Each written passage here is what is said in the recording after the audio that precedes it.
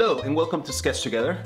On this session, we're going to learn how to create an icons animation on Flinto.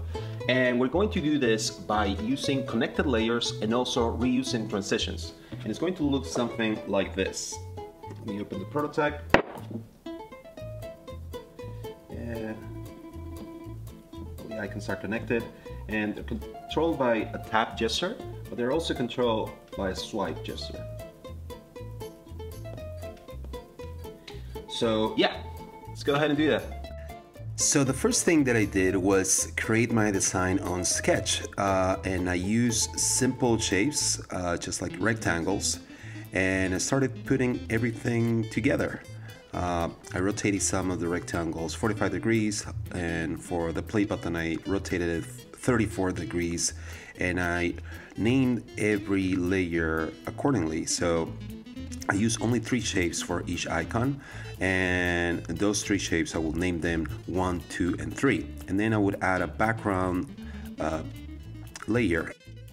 Okay, so we have finished our design and as you can see, let me show you what I did here. So on each of the icons, as you can see, I'm using three, uh, three shapes three rectangles, uh, which look like outlines, like uh, just lines, but they're actually uh, rectangles. And I named these rectangles 1, 2, and 3. All of them have three shapes.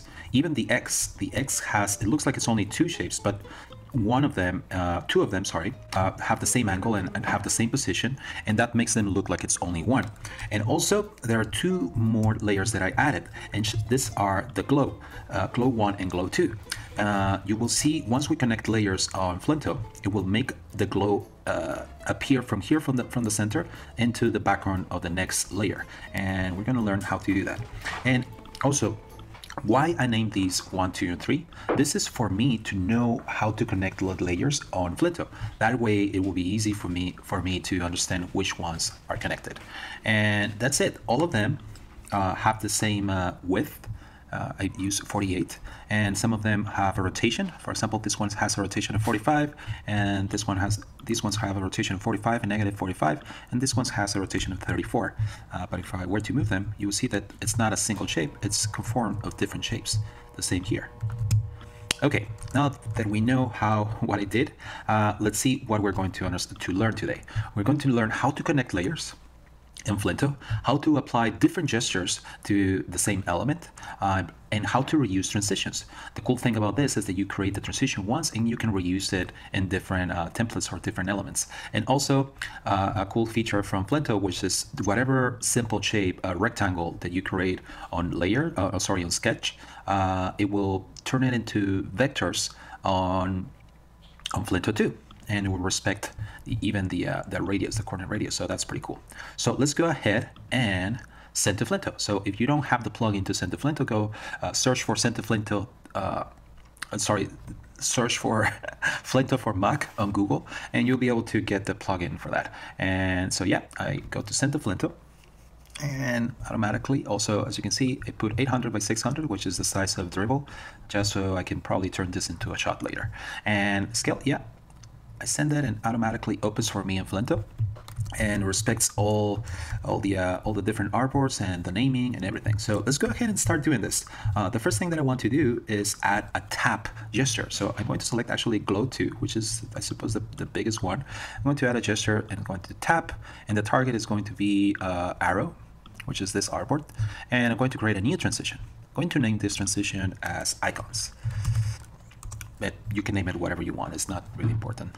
It's just for you to understand which one is one. And the first thing that I want to do is put my artboard of the end screen in the middle of the guides. That way it will be, uh, because everything, all the animations and everything is happening in the, in the center.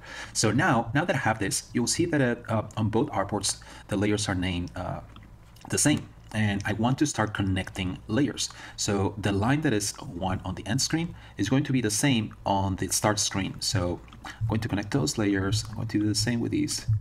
And this will be really useful when you want to, when things move on screen and they don't leave the screen and you want them to be connected, uh, you can use the connect layers. And now let's see what happens. Automatically creates the transition for me. Let's create a weird uh, rotation Uh, apparently, when you export to Flinto, there's probably there uh, a bug that it, it, doesn't export the exact rotation, but it's you can easily fix it, and we'll fix it in a, in a second. And so yeah, it's as you can see, it is it's already happening. It's uh everything is is, is connected. Uh, one thing that uh, I I'm actually I'm realizing is that you don't want you want the uh, the start screen, the glow one, to connect with glow two. Those are the ones that are connected, and now it grows. See how it grows from the middle? So glow one connects with glow two of the end and and glow one and glow two of, of, these glow one from the end screen you can leave it out and glow two you can leave it out and yeah and i named them transition icons and this is pretty much it i mean now I can actually change these. I'm going to put this instead of uh, I'm going to change the uh, the spring to be a little bit of uh, reduce the tension and and reduce the friction and let me hold on. There you go. Now it creates a, creates a bounce effect, and let's let's test it out. Boing, boing. Cool.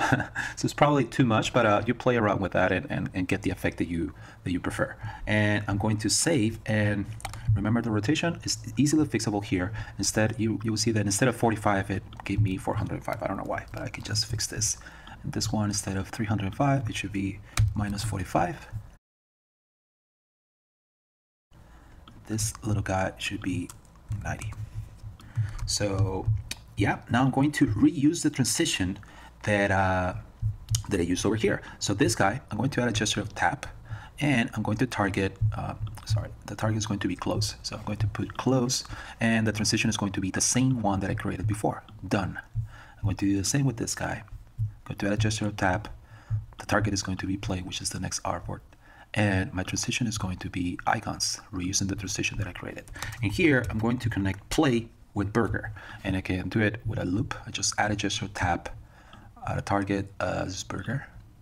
And the transition is going to be the same one. And cool. Now let's test it out.